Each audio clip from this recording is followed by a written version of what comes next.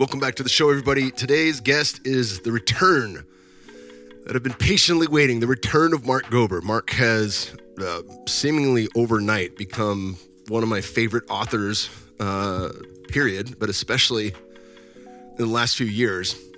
He, uh, I think his first one was The End of Upside Down Living or The End of Upside Down Thinking. Those two followed each other. And then when I first got introduced to him, it was the homie Dr. Nathan Riley, the holistic OBGYN, who's been on this podcast a number of times. He said, Have you read The End to Upside Down Liberty? And I said, No. And he goes, You got to get it right now. So I got it that day. I finished it that week. And to this day, one of the most important books of our time, one of the, the, the best written books that I've ever seen, and maybe the only that covers politics and spirituality and shows where they merge and where they don't. Um, that, that was one of my all-time favorite favorite books period i had a brilliant podcast with him about that and he just continued churning out goodies. He we had him on the podcast right after the end to upside down reset on the Great Reset. And the one that I missed him on though, which I'm going to try to get to today, is the end to upside down. Uh, well, his newest, the end to upside down medicine, which I'm holding in my hand, and the end to upside down contact. So I want to dive a little bit into contact, even though it's a, a little bit older. I have listened to that book now since our last podcast and it's fucking incredible. It is just as good as, as any of his books. I've rabbit holed every one of his books now. And um, last but not least is his latest, An End Upside Down Medicine Contagion, Viruses, and Vaccines, and Why Consciousness is Needed for a New Paradigm of Health. This is an absolute fantastic book that dives deep into the science and looks way deep into medicine. It goes back in time to actually review uh, quite a bit of things here and really break down germ theory versus terrain theory in a in a beautiful way. Um, so stoked for this. Absolutely stoked to have Mark on. He can come on this podcast any damn time he pleases, whether he's got a new book or not. Uh, he continues to be a wealth of knowledge. His writing style is incredible. All of his books are on Audible, so if you're like me, he can fly through them there. Uh, I also, anytime I get a good book, I want it to go in my library, even if I don't read it. So, hence the hard copy I have right here. Anywho, Mark is fantastic. Ivy League background, all the things. We've talked about that in previous podcasts, so I won't bore you with any more of his background. He's incredible. Share this podcast far and wide. Share it with friends. Uh, share it with. There's a, this is a this is a book that's going to stir up some controversy. There's no two ways about it. Even in you know the the the post COVID wake of 2024, I can assure you this conversation is not dead. I can assure you this conversation is going to come back up. How do I know that? Because people like Bill Gates are guaranteeing another pandemic and they predict 2025 will be the year. Now, this isn't me doomsdaying a damn thing. The last one didn't do shit. It really didn't. And yes, people died, but it was hardly a pandemic. 98% plus survivability. So, what's the next one to be like? I'm not sure. But until we get a grasp on reality and actually what's being spread and how it's being spread and what's contributing to our health or our disease, we're going to be spinning in the same circles over and over again. And it's my hope that even though we all want COVID to be behind us and even though we all want to move on, that people don't forget what happened in 2020. And we really start to take a look at what is the truth? Where is the truth? And it may not be in this book, not 100% of it, but there is going to be truth in this podcast and in, and in his book. And we got to start claiming those pieces of truth and stitching them together to form a new reality. Because this, this 2020 shit, um, that was Bizarro World. That was the Upside Down World. That was Sitra Achra. That was Wetiko. That was all the fucking nasty things you don't want to experience in the world for a thousand different reasons, which I've covered for the last four and a half years. So, anywho, share it far and wide. Leave us a five star rating with one or two ways the show's helped you out in life. Hit me up on Instagram at Living with the Kingsburys. Do not DM me. I have too many DMs to look at. Just write on one of our posts or respond and say, yo, love the podcast with Mark. More like that, please. Or, hey, uh, you know, podcast with so and so was great. More like that. Just let me know what you guys are into, and I'll keep finding guests in the in that realm. I've got some great guests coming up, so I'm super stoked to be able to roll these out. And without further ado, the return of my brother Mark Gober. Welcome back to the podcast, Mark. Kyle, thanks so much for having me. I'm so stoked. You know, uh, I say this every time we podcast, but I'm, I'm always blown away by the amount of work you get done in such a short period of time. I have friends that write books, and I know I've talked about this on the very last podcast, but you just seem to be a machine that's able to just let stuff pour through you. It distills inside and it comes out beautifully written time and time again. Well, I appreciate you saying that. Uh, when we last talked, I didn't know I was going to write another book. So it just sort of comes in. And when I get the hit, I realize there's something I'm passionate about and then I go all in. I love it. Well, today we're going to talk uh, about a book that I had missed and I ran it back, and that's uh, an End Upside Down Contact. And of course, your latest, an End Upside Down Medicine. And it was funny because right as we were we were podcasting last on the End Upside Down Reset, and we're talking about the Great Reset, and in the back of my mind, I was like, I wonder if he understands the connection from medicine and like how the reset is is being deployed. You know, I was totally thinking about that. And then, of course, you know, I, I, follow you. You're one of the few authors I follow on Amazon. So when I saw this was the next book, I was like, oh, he gets it. Here we go. right, go. we're we're rabbit hole in the same stuff here. Um, just phenomenal. Well, I don't know where to start. Maybe we start with the latest book and then we dive into some of the spiritual stuff towards the end in, in contact because I think that's good. Talk about what gave birth to this. You know, I think for for a lot of people out there that aren't questioning the narrative. They're just waiting for things to go back to normal. They're waiting for their old life to come back. And whatever excuse happens after the fact, it's like, oh, you know, well, we had to rush this thing, or we had this, or we had that, you know, and, and they really just want to ignore the conversation.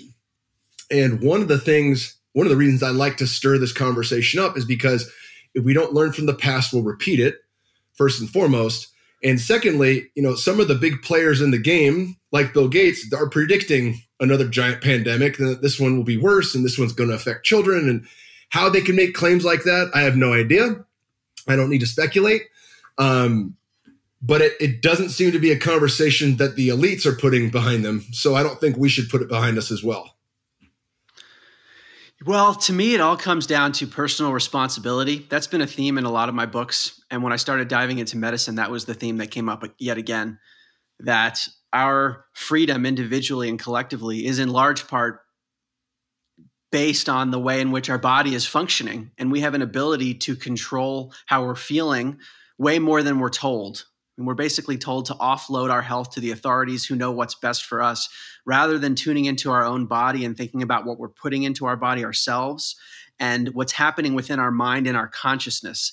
And this is the link to my earlier work for your audience. If, if your um, listeners aren't familiar with my journey, I was very much on a mainstream path, working in investment banking in New York, then working in Silicon Valley, and had an awakening of sorts in 2016 while I was working in the Bay Area. And it started actually in the health realm. I was listening to podcasts on alternative health, and then I came across spiritual topics. And in that time, I, I, learned about energy healing and acupuncture and just alternative ways of thinking about health that were much more empowering. And then ev- obviously everything starting in 2020 made me look even more deeply at for example, the germ theory of disease or the injections that we're all given and look and questioning those sorts of things. And this new book, An End to Upside Down Medicine, combines the spiritual and the more conventional aspects of medicine, which for me brings us to a more empowering state of thinking about health. Yeah, I couldn't couldn't have said it better. That's absolutely absolutely beautiful, and I like that that was the birthplace of it. it you know that health got me into spirituality as well because health brought me to you know deeper dives altered states of consciousness and of course that led to plant medicine and then wow here i am now meditating every day. I'm reading lots of any books i can get my hands on that that feel resonant to me. Um when when when you started to, rabbit hole this you know knowing how how touchy the situation is did you feel like like like you i mean because you wrote it beautifully. There was no like i said beforehand there's no finger pointing. Um you know, you just kind of laid it out there in a beautiful way in terms of of what you want this picture of health to look like versus what it's been told to us. I tried not to point fingers, partially because I don't know exactly who's behind what. And it's hard to know the people's intentions because you could have someone with a really good intention who's pushing an agenda that's actually negative, but that person thinks it's a good agenda. So, what I'm trying to do in all my books, really, but especially this one, is to get at the truth. What are the determinants of health and ill health in the body? And as I dove into it, I realized that modern medicine doesn't really understand that. There, there are indirect uh, guesses and hypotheses about how health work um, and and what remedies will work for us but it's really a lot of guesswork. And if you look at the stats on health especially in the west where we're supposed to be so advanced things aren't looking so good. Chronic disease is way up cancer is still rampant, heart disease is a problem, and iatrogenic disease, which is disease caused by the medical profession itself, is a leading cause of illness. So that made me really want to dive in. Yeah, it's great. And I, I loved where you went with it. We've had Dr. Thomas Cowan on the podcast multiple times. Um, I've been meaning to get the head, the head of the Weston A. Price Foundation, Sally Fallon Morell, on the podcast. She's awesome. We're in contact. Written a number of books that I that I really have hold held close to my heart, like um, the Nourishing Traditions book of child and baby care. You know what they outline in that book on what are the natural remedies for kids who are supposed to get sick. How do we bolster their immune system so they can go through that without antibiotics, without shots, without anything that's not unnatural? And then when they get sick again, they're better for having worked through that themselves, right? They didn't have to lean on something. And I, and I always have to say the disclaimer like, if my son gets MRSA or staph at uh at jujitsu, like that's that's when the antibiotics will come in. That's exactly what I want to use them for. But I do not want him using antibiotics for everything that I had. Every time I'd get a sinus infection, twice a year I was on antibiotics for probably 10 years. That's unacceptable. Yeah, the allopathic model it's one of the it's the major critique of my book and end upside down medicine but i'm not saying that it's never useful there are targeted applications for sure particularly in emergencies where it seems to work very well the problem in my view is that it, it has become the rule that when there's any kind of ailment the allopathic approach is used rather than looking at something more holistic and to me the, the allopathic approach is defined by two major characteristics one is that it is looking at symptoms rather than trying to cure the root cause of illness. And secondly, it's reductionistic. So it looks it likes to look for a single and materialistic cause. And that means germs are, are a good culprit to say, look, there's this one microbe, and that's the problem. That's why you're having symptoms. And we're going to use this one um, medical product to kill it like a war. And it's kind of a simplistic view rather than looking at a holistic view of how the body actually is functioning and what's going on physically, but also psychospiritually. Yeah, hundred percent. Yeah, and I think the, the the further we rabbit hole spirituality, whether that's you know we're we're on different paths. You know whether that's through plant medicines in my case, or you know the, the deep study of meditation through Adyashanti, as you have. You know, there we find these similar truths where we come to understand that there is a mental emotional thing that's usually attached to the physical disease in almost every case. I've seen it in ayahuasca hundreds of times where there's a big purge, and it's not always the case, but a lot of times there's a big purge and, and it's not just hey i didn't feel good it's i felt a lifetime worth of anger. I could fucking feel my dad yelling at me and i purged that you know like these things come up for a reason and and there's you know books from psychology like the body keeps the score. There's a lot of other places where this gets documented but none of this gets treated this way when we look at health and wellness right now. And i i just love the fact that you pulled in people who really were thinking outside the box to, to draw on Another great one was Dr. Susan Humphries, who I leaned heavily on when we first had Bear, who's eight years old. I read her book, um, Dissolving Illusions. I haven't heard many people talk about Susan Humphries. I mean, I've heard like Dr. Sherry Tenpenny mention her and things like that, but only in very small select circles have I heard her name. And that book blew me away. It absolutely blew me away on, on you know framing when each disease really hit its high point. Where was it when the vaccine came out? were they able to actually give this virus and spread it via a whole host of weird fucking ways, and it never kept catch on. Um, it just opened up a whole, you know, a whole rabbit hole there where I realized I'm not going to vaccinate our kids. And that came with a lot of pushback from my family and different people. A lot of them are in Western medicine, registered nurses, medical doctors, anesthesiologists at Stanford. I stood firm because I understood. I understood it differently, and I understand health and wellness differently. That was a big one for me too, dissolving illusions. And there's a website, dissolvingillusions.com, that has some of the charts available for free. And I include some of them in my book, um, where it shows uh, illnesses that were believed to be stopped by vaccines. And you can see the mortality rate of the disease over time and when the vaccine was introduced. And you see the vaccine was introduced when the mortality rate was already way low. So there's, you know, that's not something we hear about from the medical profession very often.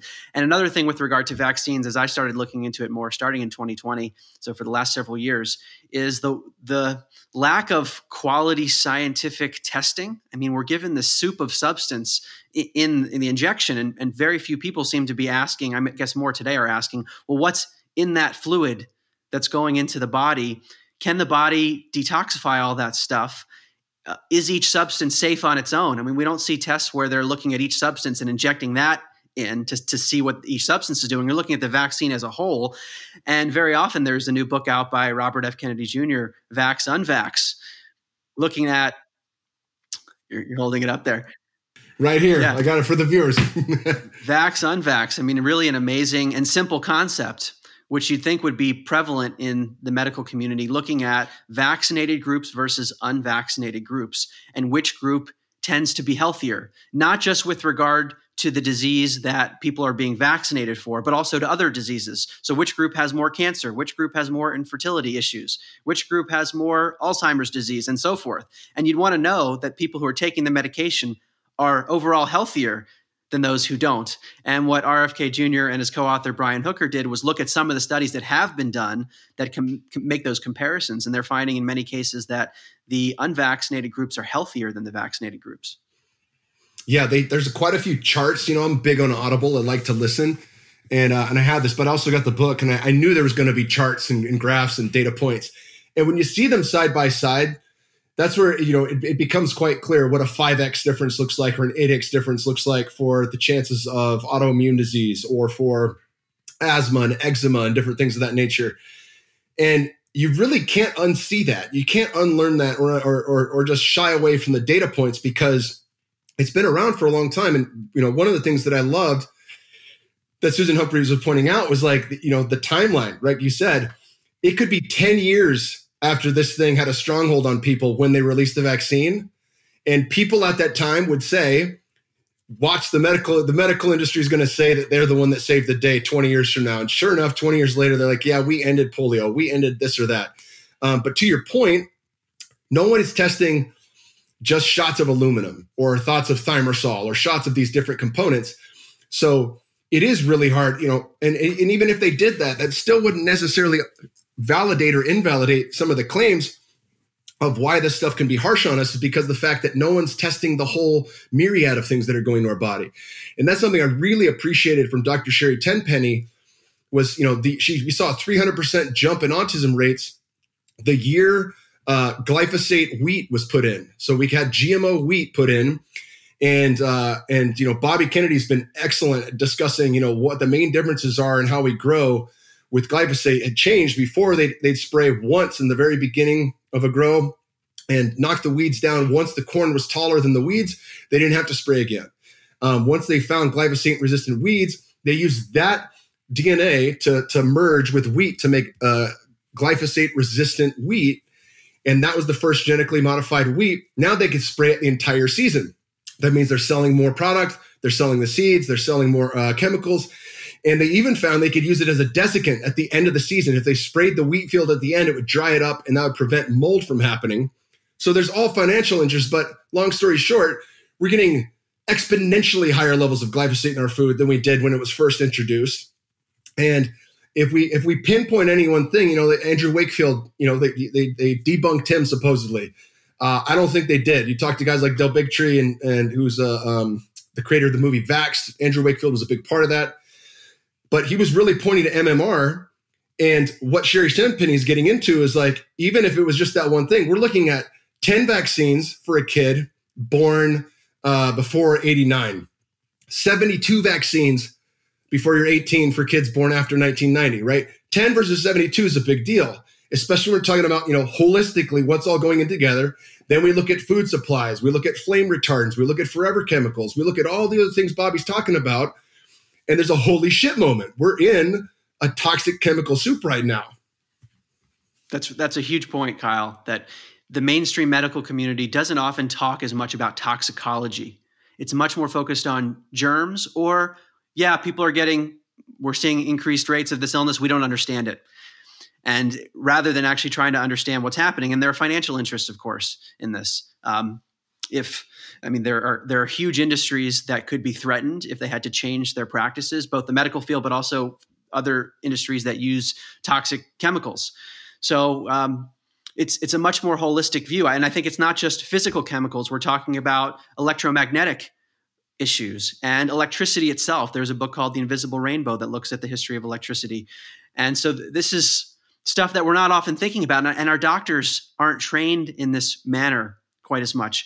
Uh, there was a report in 1910 that came out called the Flexner Report, which explicitly talks about the change in medicine in the West. And this was supported by the Rockefeller Foundation, the Carnegie Foundation, where they were going to move away from more holistic, homeopathic type thinking and move toward the allopathic approach. So you have many people, and I want to make this point clear, who are well intentioned that enter the medical field, but they're trained in a very particular way. And they're not trained as much to think about nutrition and toxicology and electromagnetic issues. It's more about looking at germs and looking at the right antibiotic to use and looking what's the right vaccine schedule. That's sort of a mentality that is this almost a war with the microbes as the primary way of thinking, rather than asking people how they can clean up their own body and mind with their own environment internally and also just in their home and in their daily life.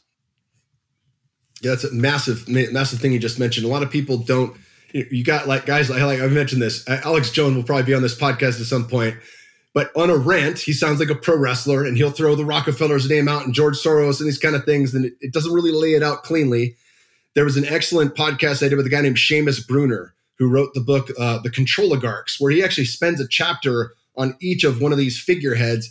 And he highlights this in the Rockefellers in the opening chapter early on, how they basically took virology from um, from France, you know, with Pasteur and brought it to New York City and became the really, you know, the the, the highest, the high paying players in the game that we're going to do the most studies in virology and we're going to figure this out. And and how much change just in that period of time alone around medicine that's trackable it's not you know it's not like some guy twisted his mustache but it's a trackable thing we know it's true and this is how how we've gotten the place that we're into today where it's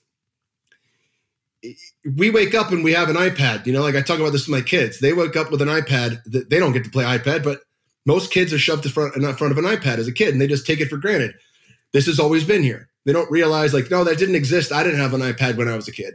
I didn't have a cell phone when I was a kid.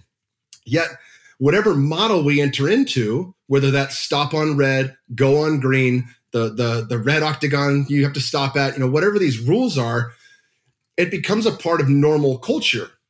And one of the biggest parts of that is anytime you get sick, you go see the dude in the white lab coat.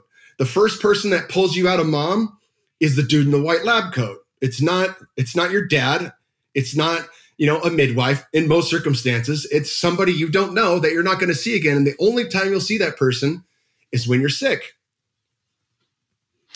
It's just a way of approaching health. And we, we take it for granted because that's how it's done today. And um, th- there's this phrase about modern medicine looking at what's under the microscope rather than looking at what's within the macroscope. So the doctors want to look at tests and what's going on inside the body, and there's definitely value to that. But they're not typically asking what's going on in your life. Are you under stress right now? Um, part of it also has to do with the fact that the medical system is totally overloaded. So the doctors don't have time necessarily to get into each patient because they're just handling so much stuff, and that's because so many people are sick and it becomes self fulfilling. But the, my my approach to health now is so different than it used to be. I mean, I, if anyone's sick that I know, whether it's myself or someone else, I want to know what's going on in their life. Um, what's going on in their belief systems? What are they stressed about? What's going on in their relationships? What's their diet like? And these are not maybe the first questions that we're getting asked when we go to see the doctor. Um, and, and partially, in, from a clinical perspective, they want you to be well. So I can understand where they're coming from. You've got a symptom, you're really miserable for some reason, and they want to fix that and it's often through suppressing the symptom. The problem is if you haven't gotten to the root cause and you're just suppressing the symptom by putting a band aid on, maybe the underlying problem is going to emerge in a new way and you're just going to get sick in another way. So, uh, for me, like I said, I'm, I'm trying to get to the truth, and, and it's no different with regard to medicine. If someone's sick, I really want to know where is that coming from? We see symptoms emerging in the body. How is the body producing those symptoms? Where's it all coming from? And the more I dig into this, the more I realize that modern medicine often doesn't understand the answer to those questions. Yeah, and it's a it's a huge a couple of big points that you bring up there. One, I think the average time you get to see a general practitioner is like seven minutes now, or right around there, seven or eight minutes. That's not a long time. You know, like we're, we're going to podcast for an hour at least, and that that's a deeper dive there. And I'm sure, you know, even though generally conversations at home aren't as dialed as a podcast, you've got phone calls and kids running around different things you're still going to get more time with a friend or someone you love than you do with your general practitioner. And it is important if we think of the new paradigm to start thinking about these things. as what is the root cause. You know, we start to say like, well, how most people think that's woo woo. You know, like I had lower back pain, never in my entire life. It happened in April of 20, 2020. And then I connected the dots. I was like, that's my spine. That's my support system. That's my root chakra. I'm in a lot of fear about what's happening in the world right now. And as soon as I came to terms with that, no more back pain, like fucking overnight. So, and that's uh, n equals one. And I understand things differently, but I'm just saying that, that I think there's a lot that we can gather from what you just said there. Guys like Charles Eisenstein and Dr. Zach Bush, who are great friends, they flow right with what you're talking about. And people that are diehard into, you know, trust the science and scientific materialism it's it's beyond their purview. They can't see it. It's like a horse with with with blinders on. They can only see this path right in front of them that's already been laid out and it's really hard to get to the change but we're not speaking to, to the people that have the blinders on. We're speaking to people that are taking them off and saying what about this? What about that? And i've heard about this before you know and i think those are the more and more people are becoming aware of potential differences that we can look at. Yeah, I want to go back to the point I made earlier about mainstream medicine being reductionistic and and materialistic, or some would call it physicalistic, where they're looking at a physical cause. Because the mind can actually compute that really well. It's very linear. It's almost like billiard balls.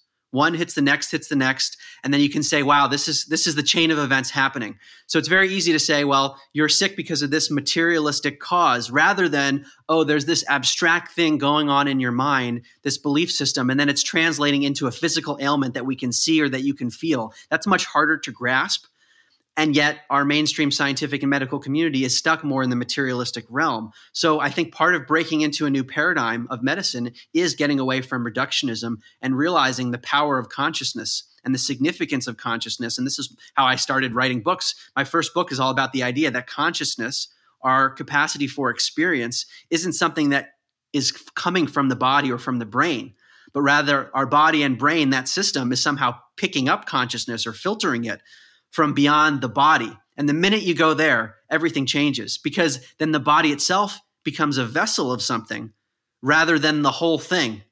From the materialistic reductionistic perspective, the body just emerged from the universe through a random process of evolution. And then when the body dies, that's the end of your consciousness.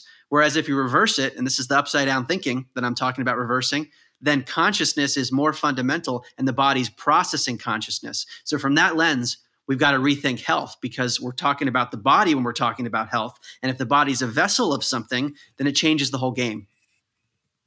That's beautifully stated. And I love that because right as you were talking about this, I was reminded of the graph chart we talked about in our first podcast from the end upside on liberty, you know, and how these these four quadrants look when you have the the materialist point of view versus the non-dualistic point of view. And when you've got, you know, your, your classic science versus the the uh, terrain theory and, and, broader spectrum. You know, when you obviously I'm bridging medicine into politics here, mm-hmm. how that graph was used, but I can see how that overlays in the topic you're bringing up right now as well. Yeah, in the Liberty book, I was talking on the lens of um, liberty versus authoritarianism. Um, or statism versus voluntarism, but they go together because really what we're talking about with medicine is in alignment with voluntarism and, and freedom which gets more into the terrain model of thinking about health, where the individual is responsible, whereas under something more authoritarian, the state's going to be responsible for health. This notion of public health that we want to take care of everyone and we know what's best, rather than a more freedom oriented perspective, which is you know your body best. Yes, there should certainly be people to help you do that, but you're going to be taking responsibility for what you put in your body and what you put in your environment and how your mind is functioning. Yeah, it's beautifully stated. I'm actually listening to a fantastic book from a guy uh, named Leonard Sax. You heard of him? Yes.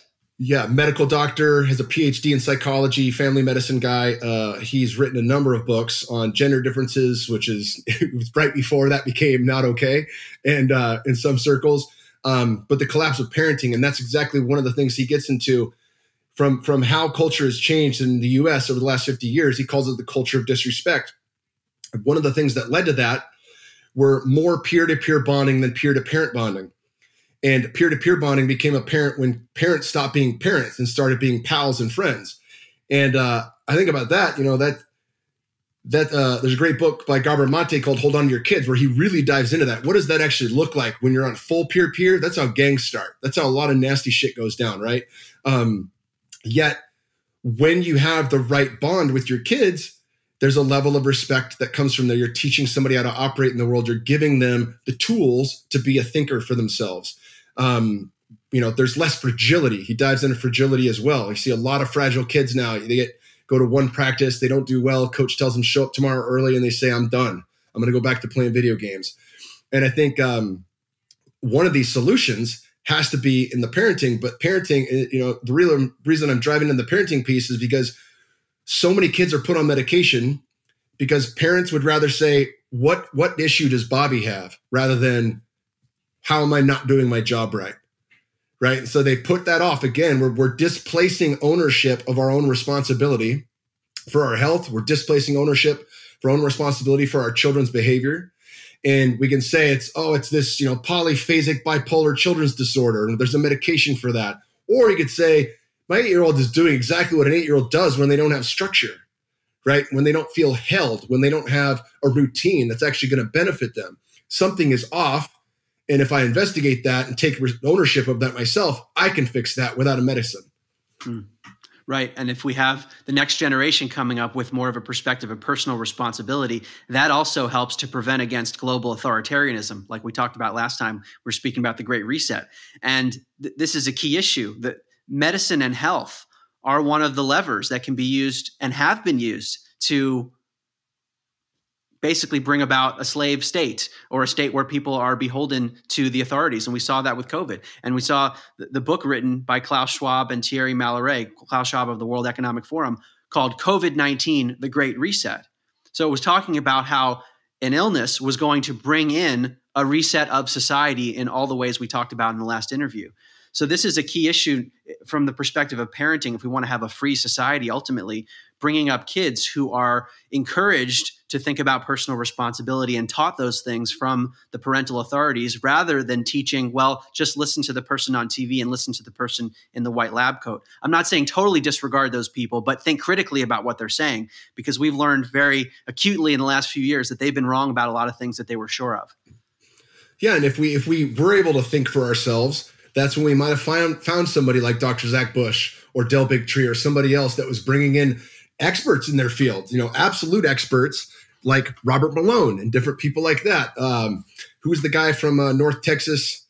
Um, Peter I'm forgetting his name. Yeah, Peter McCullough, Dr. McCullough. Like when you get experts like that um, that are totally counterintuitive to what the mainstream narrative is saying, you only get to hear that if there's some level of openness and some level of discernment, right? And it doesn't mean you throw the baby out with the bathwater because someone's on TV or on mainstream media. It just means you you ask more questions. You really want to get to the bottom of something. Find it, you know, listen to both sides. This is where we have to start steel manning each other's arguments instead of straw manning each other it's it's a skill that's what i'm realizing it takes time to develop the trial and error to hear so many different opinions and sift through what's true and what's not because often there's a hint of truth out there even in the people that i strongly disagree with there's a hint of truth that they're bringing and it's almost like finding a mosaic of all the different thinkers out there and putting together our own perspective and that takes time and energy that's the reality it, it, it one cannot be lazy in this because if you're lazy, then you're just going to go with whatever you see on the front page of the news, and then you'll get maybe just a hint of the truth rather than the full thing. And with regard to health, that can be a serious issue. Yeah, no doubt. we see it now. Uh, we we see it now, kind of everywhere. There's been some amazing documentaries. There's been some amazing books. I forget the guy's name. Uh, who was the guy from BlackRock? Aubrey had him on the podcast. Um, he Ed was, Dowd. Uh, yeah, Ed Dowd, phenomenal, right? And what was the name of his book? Not died suddenly. It was um.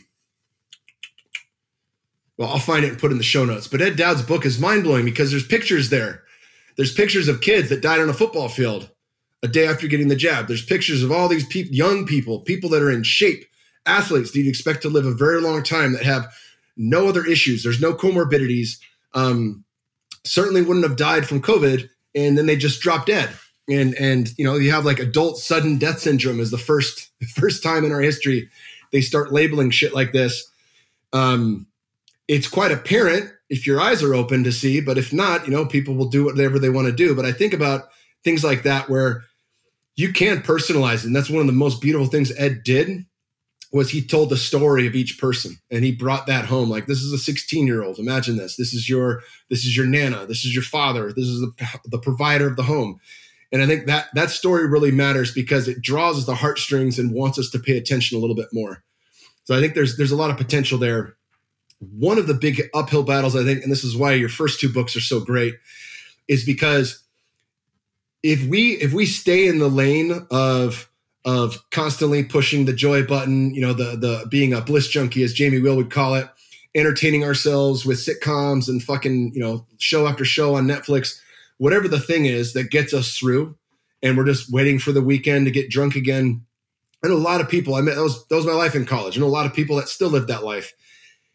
If we stay in that lane, it's a dead end and and that lane is being serviced for us from the Schwabs of the world and different people. That lane is being serviced fully.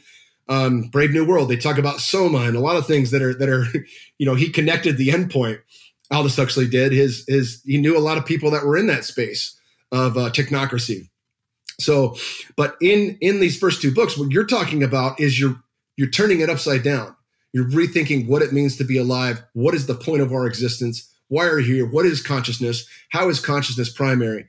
And I feel like that is the difference between someone being able to think for themselves and say yes to taking responsibility for their own life is that fundamental understanding or fundamental remembering versus just staying on the on the the you know the rabbit wheel of running around and you know chasing tail chasing drunk chasing this or that just entertaining themselves yeah to me pleasure becomes recontextualized. That's what's happened in my life, if I were to summarize it, with the recontextualization of consciousness. I used to believe consciousness comes from the body and the brain. That means when your body dies, that's the end of your consciousness. So you end up with this attitude of sort of like eat, drink, and be merry.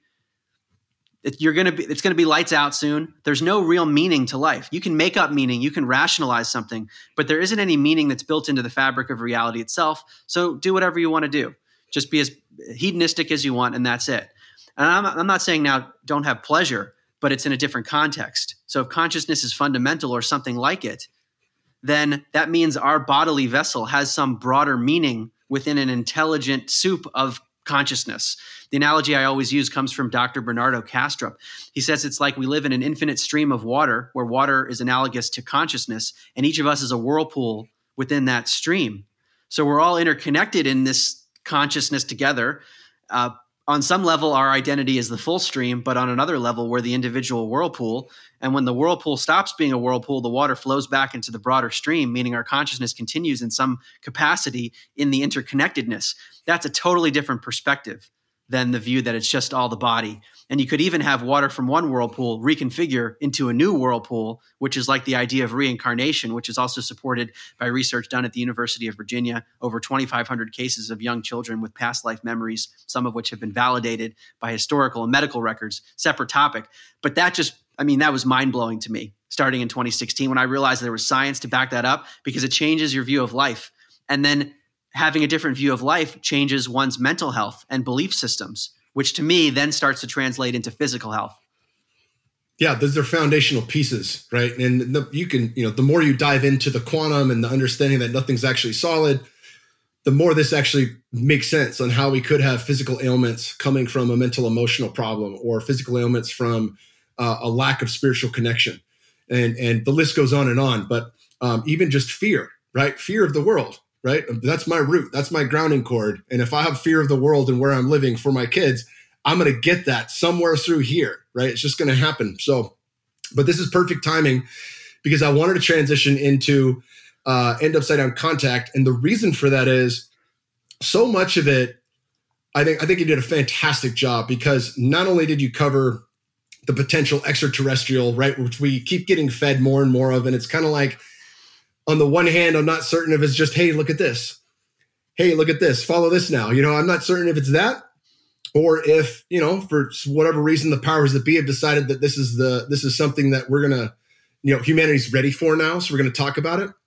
I'm not certain. I've always geeked out on stuff like that. But the thing that I really appreciated about your book was that you went into the spiritual. You went into the potential of of different spirits coming across them in different ways uh, near death experiences, which I want you to expand on because this shit had me lit. I was like, wow, let's go, let's go, let's go. And and and again, you validated that. There's science that backs that up. That fundamentally changes the nature of what we've been told. It's what you know from what we've been taught in a scientific, you know, materialistic society. Yeah. So the book "In End Upside Down Contact" was born out of my desire to understand the forces of dark and light. That's really where it came from. When we first spoke about my book, An End Upside Down Liberty, that was a book right before Contact.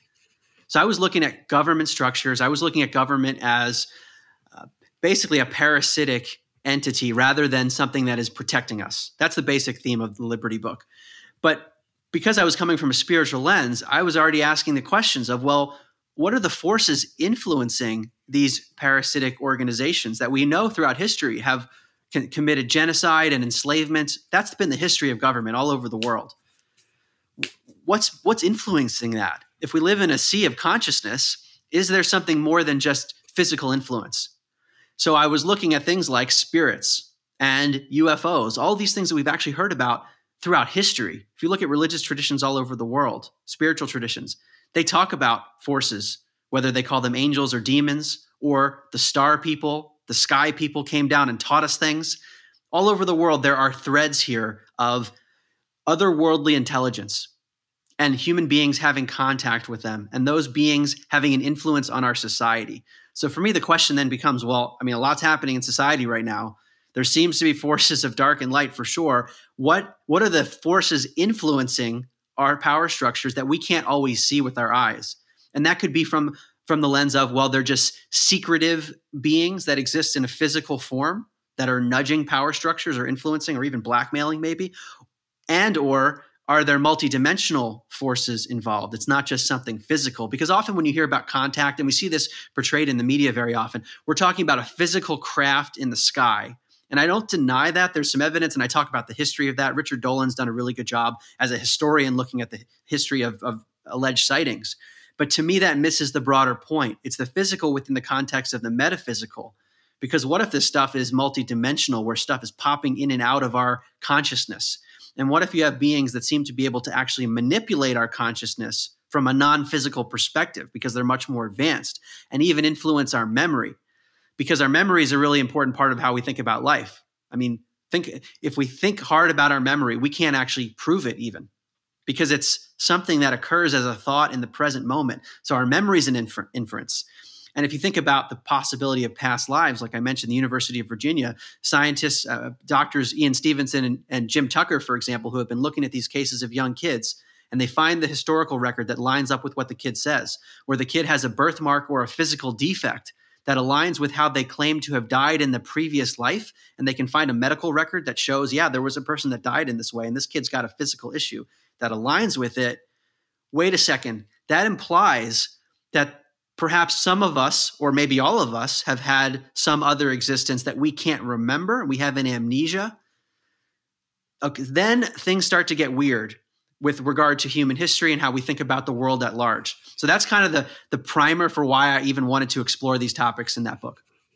It's phenomenal, and you know something we talked about before the podcast was the synchronicities I had in exploring one of the darkest subjects on Earth, which is the kids. Yeah. You know, and, and really, uh, I had a very basic fundamental understanding of that prior. I'd listened to different people on on different podcasts, on buddies with Tim Kennedy, people that actually have you know, been on missions to rescue kids from sexual enslavement. And so I understood it was happening. I had no idea to the degree of how it was happening. And I think a lot of people, you know, they, they want to hear the MSM say that Pizzagate was bullshit, didn't exist. And it's like, okay, cool. Now I can go to sleep at night. That's not happening. But we know from Epstein and we know from, from many different survivors that have written entire books about the subject that that is part and parcel of what's happening in the world right now and there could be no greater crime. I mean, whether you're a parent or not, you understand like the the the, the torture of, of the innocent could be no, nothing worse. Period. And uh, Paul Chek had Oliver Stone, Oliver Stone's son, Sean Stone, on his podcast within the same like week that I was listening to an End Upside Down Contact, and they talked about you know his TV show and how he'd interviewed some of the survivors um, you know, from the most brutal sex cults on the planet that were demonic and all the sh- all the things. And you actually interviewed one of the survivors from that show. Yeah, I was quoting Sean's interview, which is quite okay. a synchronicity because this is some esoteric stuff, and I'm glad you're willing to talk about it, Kyle. Because I, have noticed that people tend to shy away from this subject. And um, let me give some context here because this is important. When I first got into the spiritual subject, uh, the discussion was primarily in, in my research around wow, we live in a universe full of unconditional love. And the nature of consciousness is unconditional love. And it's a feeling and a sensation and a, just a, a state of being that cannot be described. It's that intense. And just to tie this to health for a second, Anita Moorjani, she famously had a near death experience where she was terminal cancer in a coma. Her consciousness went to another place and she felt this unconditional love and she started to redo her way of thinking. Her cancer went away. So it disappeared. But anyway, that it still bears the similar theme of it's all love.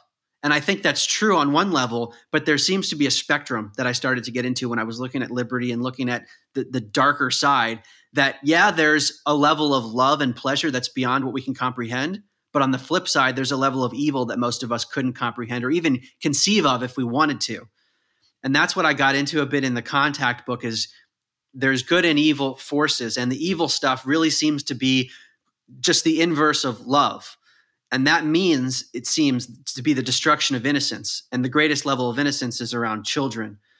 So there's some unspeakable stuff that I've come across in my research that many others have come across too. People that have survived some of this stuff, and it's hard to believe. I mean, in the contact book, I mentioned uh, one book where there was a. It was written. The foreword was written by a Utah State investigator, and he confirmed that the woman who went through these horrific things had confession letters by the perpetrators who described exactly what she had talked about that came from her own memory.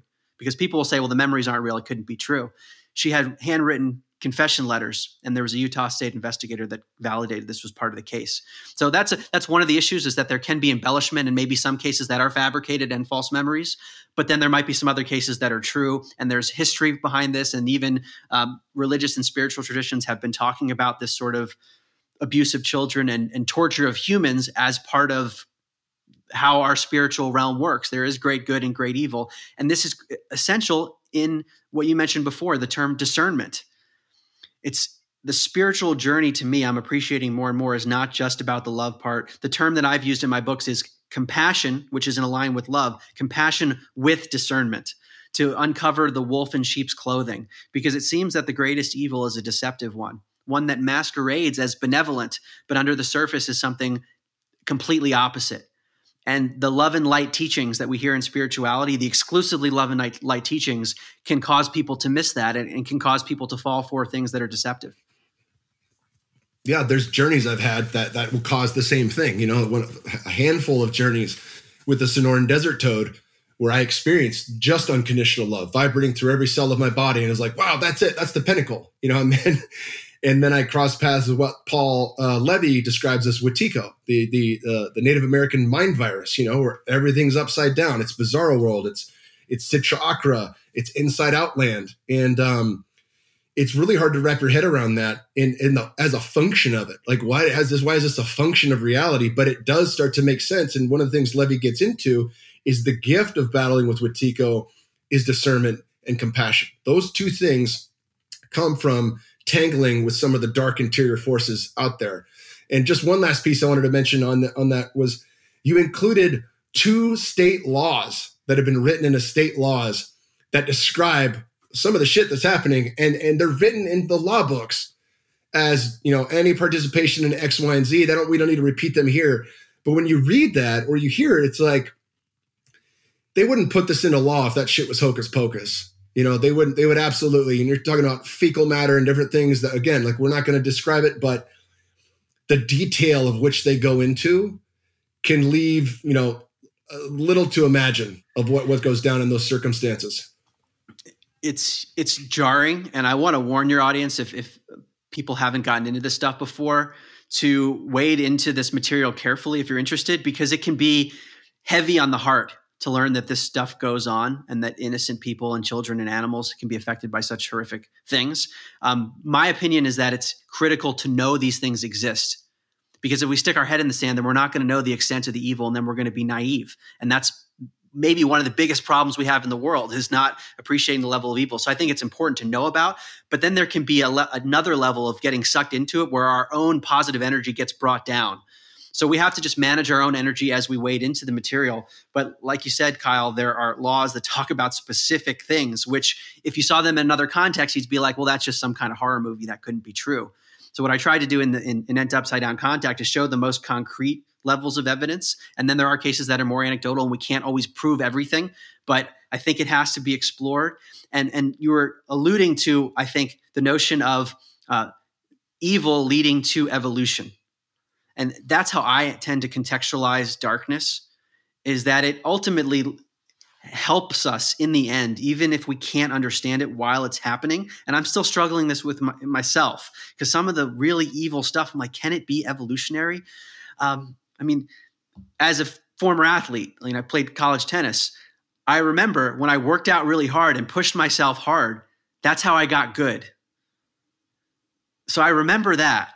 And I think about some of the greatest challenges elsewhere in my life. The challenge led me to be able to excel in other areas. I mean, I, I sacrificed a lot in my life professionally, academically, to just dive in and want to do really well for my clients or want to get good grades. And that's enabling me to write books more easily because I went through a lot of pain before. So I can see the benefit of evil in some cases, but then in other cases, it's hard to wrap my mind around. So, um, I want to, I can't remember if I told this in a past interview, but it's worth repeating. One of my favorite spiritual teachers, David Hawkins, um, he talked about when he was elevating in his levels of consciousness that he was faced with evil and he was basically faced with a test, which he didn't know at the time. And this knowingness or voice came to him and was like, Look, you've transcended all of your personal karma. All power is yours. Here, just take it. And in that instant, he said, Hmm, I, I have, I've trans, I, I am everything. Why do I need to have power over others? I'm going to reject this.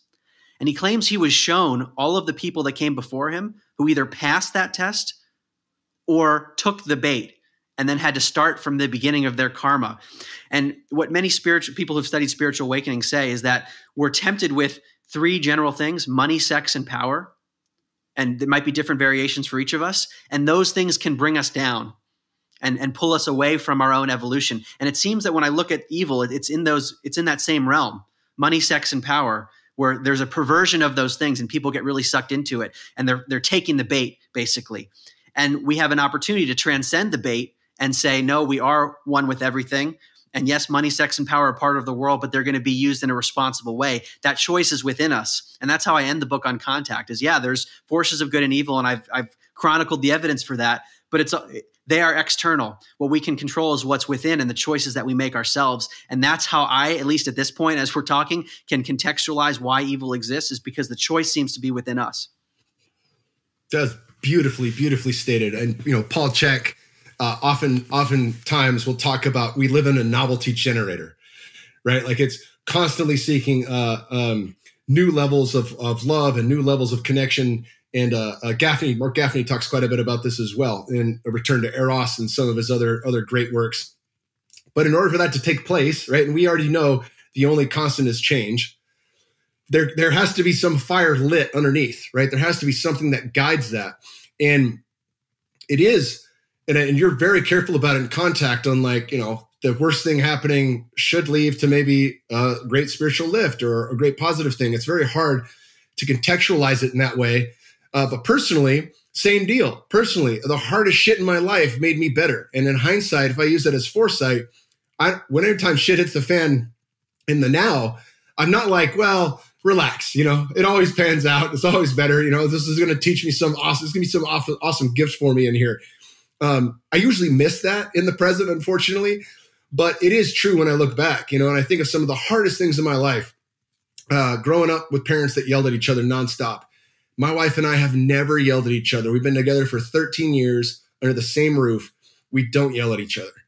And we've never cursed in front of each other, in front of the kids. We don't, we don't, there's no name calling. And it was like, if it was just that to teach me how to be in relationship with someone I love, fucking worth it right? And that, I can go down that list too. I think we each can if we really look at that. And that that helps us to make sense of it, a thing that you can't really make sense of, and maybe we'll never make full sense of it.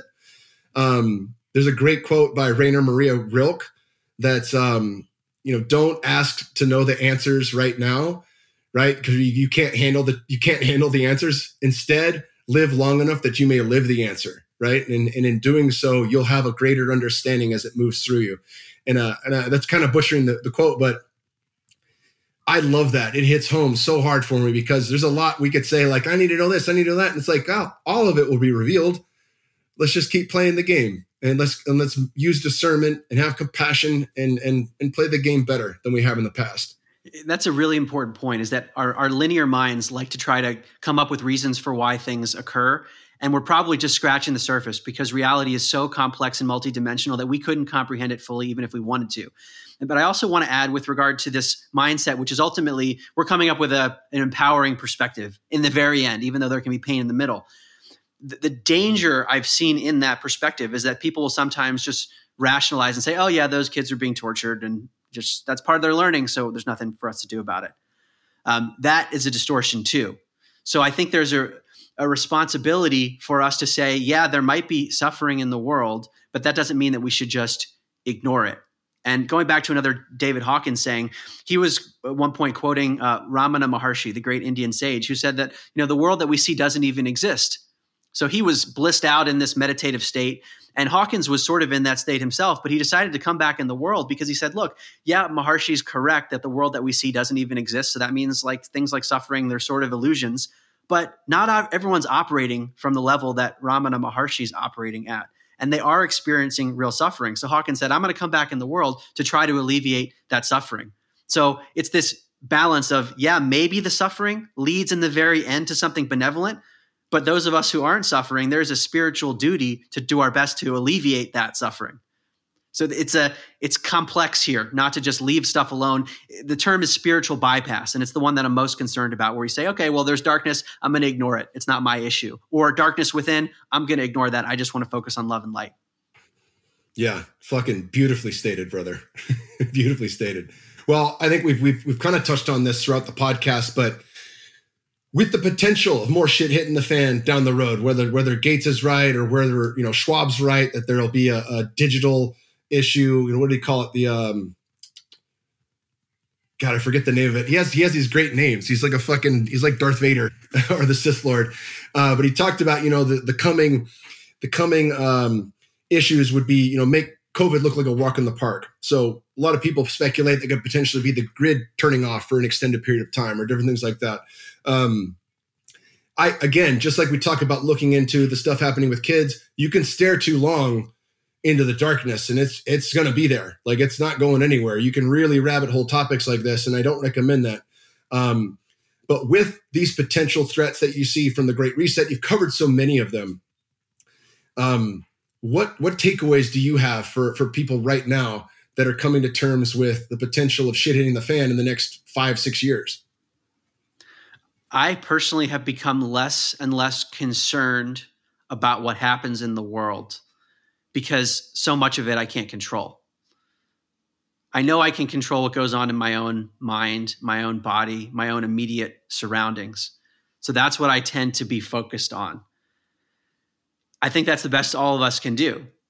And we can share things with people so that other people are more aware. And we're doing it in a more public way, but other people do it maybe just in their private settings with their family members and, and share information so that they can make better choices.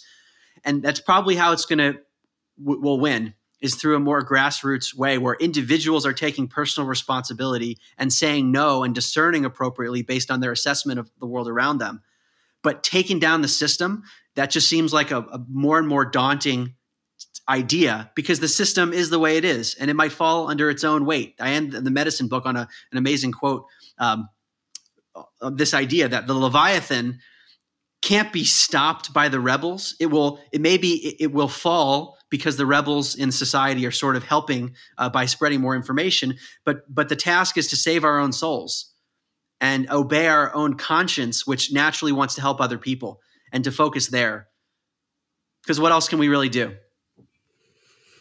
I love that. Yeah, I absolutely love that. It reminds me of the Serenity Prayer, which has been such a big piece for me since 2020. Like, like grant me the wisdom to know the things that I can change. I can be focused and stay in that lane and surrender the stuff that I can't. Um, I think it's a fantastic outlook. Yeah, and I want to just add to that that in the process of saving ourselves and wanting to help others, some people might be able to work within the system or work in different ways where in their own life circumstances, they can have a big impact. But my point is that it might just be different for each of us. And to just focus on our unique skills and our abilities and what, what's going on in our family life and our immediate settings and what we can actually make a contribution for. I love that, brother. Well, you got anything else cooking? You're, you're constantly churning out stuff. Probably nothing now, but you will be. I guarantee I'm gonna get pinged on Amazon the second something comes out. Nothing now. I always say this after I write a book. I may never write another one. I don't know. There would have to be something that comes in, comes into my field that is such a paradigm shift that I have the time and the interest in exploring that I'd feel comfortable writing about, and it has not happened yet. Well, I love everything you've done, brother. Uh, you're an amazing human. I'll link to all of your books in the show notes. You know, you every single one of them is phenomenal. And there's a lot of there's a lot of similarities in how things get started together that's worth repeating and worth reinstilling. So I appreciate that you have these common threads throughout each book as well.